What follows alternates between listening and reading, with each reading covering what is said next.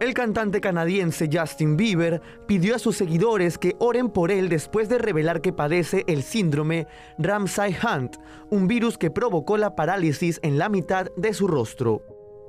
Se ha vuelto cada vez más difícil comer, lo que ha sido extremadamente frustrante. Oren por mí, escribió la estrella de pop en una historia de Instagram. Asimismo, Bieber, quien es cristiano, aseguró que tomará tiempo recuperarse, pero estará bien. Tengo esperanza y confío en Dios y confío en que todo esto es por una razón, pero mientras tanto voy a descansar, contó a sus seguidores. En el video el cantante también dio detalles sobre la enfermedad y dijo que ataca el nervio en su oído y sus nervios faciales, por ello ha causado que tenga el parálisis en su rostro. El dos veces ganador del Grammy se refirió a sus shows en vivo recientemente pospuestos y dijo que físicamente, obviamente, no es capaz de hacerlos.